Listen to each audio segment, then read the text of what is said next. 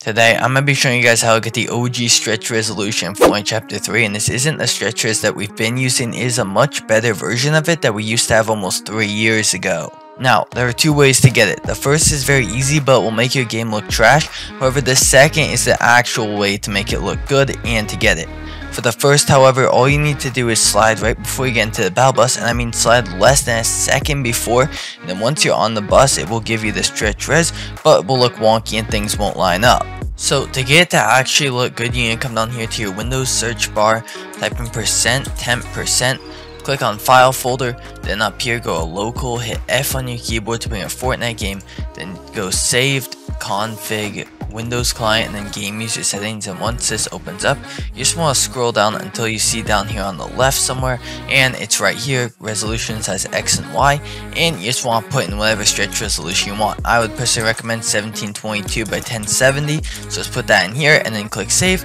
and you'll be good to go. Now if you want to make this look the absolute best you need to watch this video next to get the best stretch res in chapter 3.